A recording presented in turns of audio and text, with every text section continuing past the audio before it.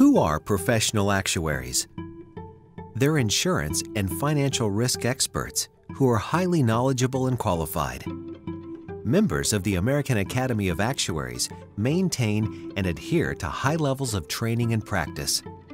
They support financial security in many areas, among them retirement and old age, health and long-term care, insured property and risks, as well as life insurance.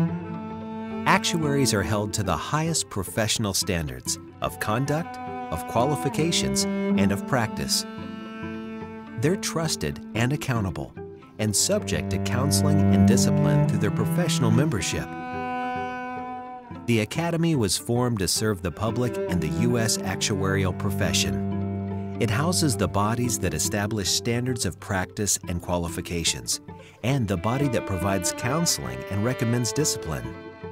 Together, these activities keep and enforce standards that are appropriate and intended to serve you.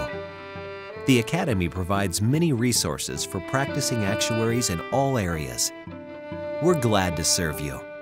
The American Academy of Actuaries, the home of U.S. actuarial professionalism.